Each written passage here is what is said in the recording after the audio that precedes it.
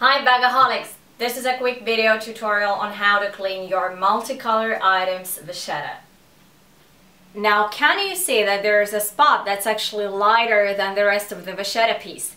What do you think I used to clean that?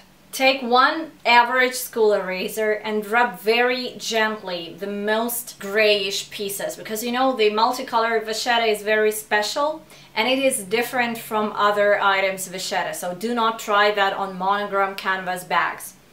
It will work only on multicolor. So if you rub very very gently you can take this grayish uh, grayish shade away and make the bag look basically much lighter. Can you see that? The, the difference is awesome. And here, uh, the left part has been cleaned, the right one uh, has stayed the same. And that's the final result, and as you can see, the vachetta is much lighter than it was before.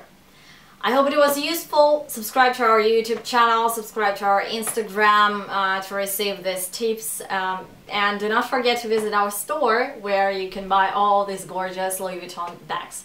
Thank you for watching. See you next week. Bye bye.